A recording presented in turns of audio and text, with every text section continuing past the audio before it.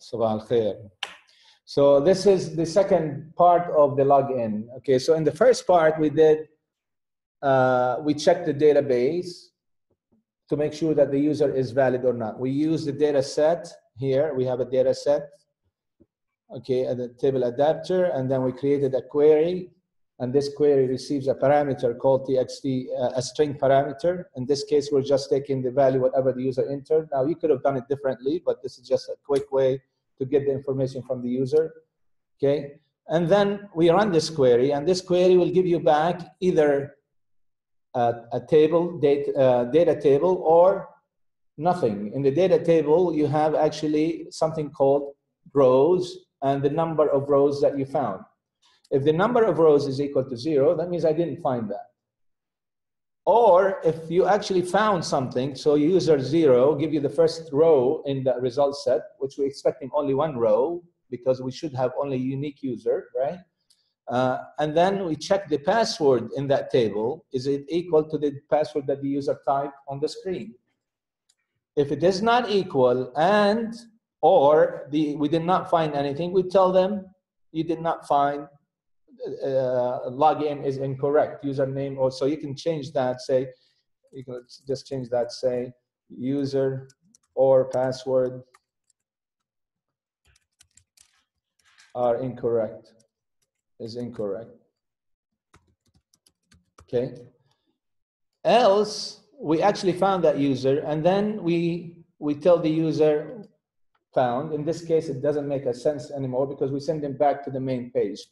So now it says uh, we use something called session. Now that I didn't explain it very well. I mean, not very well. I explained it in, uh, briefly in the first video, but in this video, I'll tell you what a session is. Session is a temporary storage area, uh, area in memory on the server side. It is used to store temporary information and sessions, they have timeout. So the timeout usually is five minutes or you can set it yourself. So if you create the session and you don't, you stay inactive for five minutes or whatever time you set, that session disappear. So the information that you can, you store in it, it's gone. Why do we use it? We store, for example, sensitive data because it's sitting on the server side. We do things like shopping cart, sitting on the server side, okay? So, or you can do it local if you want using uh, JavaScript and cookies. Okay, but here in the session, we, we are storing the user information, the username. So now if I have this session, I have the, this user in the session, I know that this user is a valid user. If I don't have this user in the session, that means it's an invalid user. So any page that he goes to or she goes to and uh, and we don't have that user in the session, it means they tried to come to this website illegally, right? And so we need to send them back to the login page, all right? So the user value, the, the field name in the user value is called username in the session, okay? So if we wanna, we need to look for that field name called user name, all right? Okay, so how are we gonna do the to secure these pages. Now, I have several pages in the website. Let's take any of them, okay? Which one of them we have? Uh, I think we have customer, let's just do customer forms, okay? This is customer forms, right? Now, if you double click here, if we look at the source for this guy, let's add the label first of all, just to show you. Uh, I'm gonna add the label here. It's all right. All right, uh, where is that label? I'll just put it here. Uh, let's do that. Control Z. Just add it here for now, okay? And this label is gonna be my username, okay? If you're logged in, it should show you username here, all right? I'm gonna change this in the property and make it LBL LBL user, for example. Okay. Now you can do that better, but okay. Uh, then what we want to do is that we have in this page, we have something called source. Do you see that? Customer, the, the .NET. If I click on this, there is a function that we really haven't used yet, which is called what? Is called page load. What does that mean? It means when I come to this page, I can check. I can do things that I want to, to uh, for example, finding information or going to the session, making sure this is a valid user or not. Okay, so this is happens the first thing when you open the page. So what are we gonna do? You can say if session, you see that? What value are we looking for? The same value that we put on the first one, which is what? Remember what was it? Username, right? If it is there, if it's not equal to null, means that it is there. What do we do? We actually can change that label to what? lbl user.text equal session and then I can put in username here.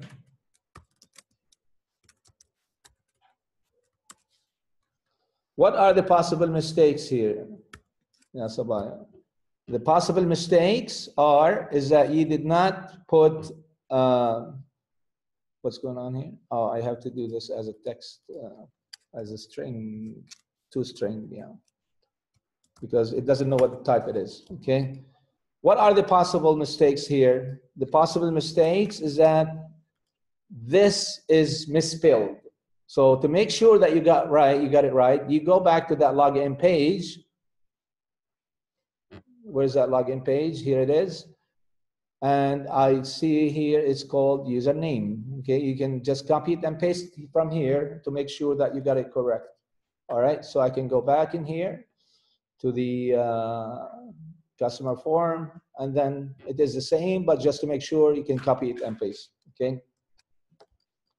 So that if it is valid, what about if it is not valid? What should I do if it's not valid? Where should I send the user if it's not valid? If this user does not exist in the session, what does that mean?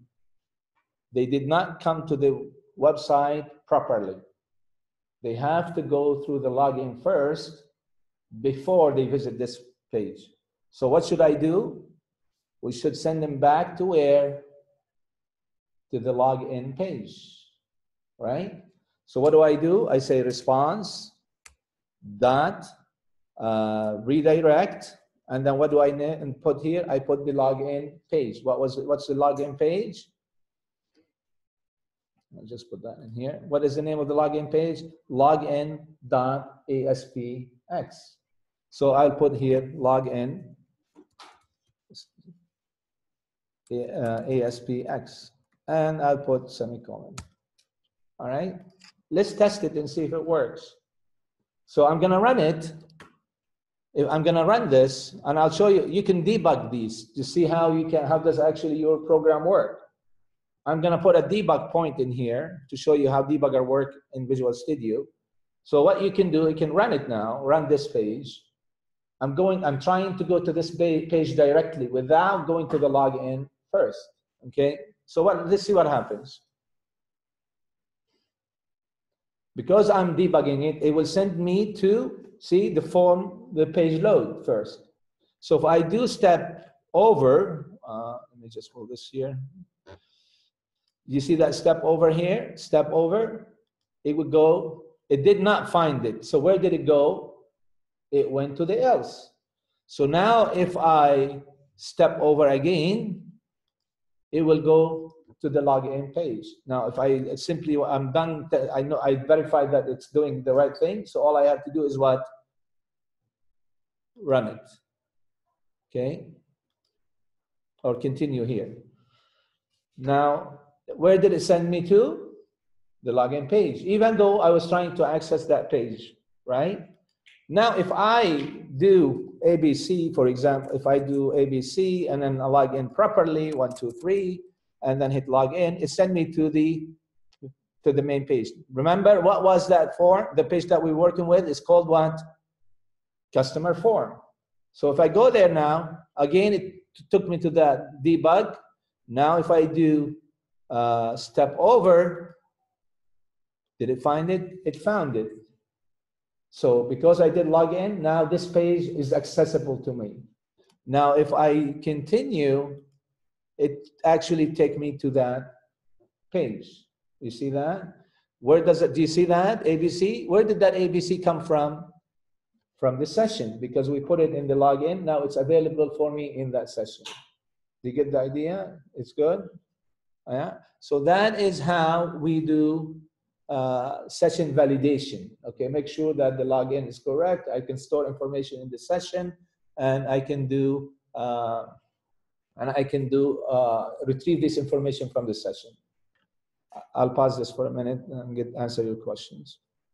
All right, so we are uh, at the end of this. So in this part, the last part, I'm going to show you how we actually do logout. Now I'm doing it only in this page, but you need to do it in all secure pages. You need to have a link about logout or URL, whatever. I have a, I just simply added a button here in this page. So what do you do to log out? So when I double click in here, when I do log out, what should I do to do log out? Simple. The information that we put in the session, we need to do what with it? We need to remove that session. So the session is gone. So now if the user tried to go to this session to get information from that session, cannot find it. And then you can send them either to the main page or to the login page. It's up to you how you do that. So what I'm going to do, we have something called, called session. All I have to do is say abandon. When you say abandon, what does that do? It actually kills that session. That session is gone anymore. It's not there. All right. And all the information in that session is gone. Okay, so what? so if somebody tried to go again to that page, this page that is secure, and try to find the username, they cannot find it. So now it will send them back to the login. And at the end, you can say response dot redirect to any page you want. So if you want to say index.html,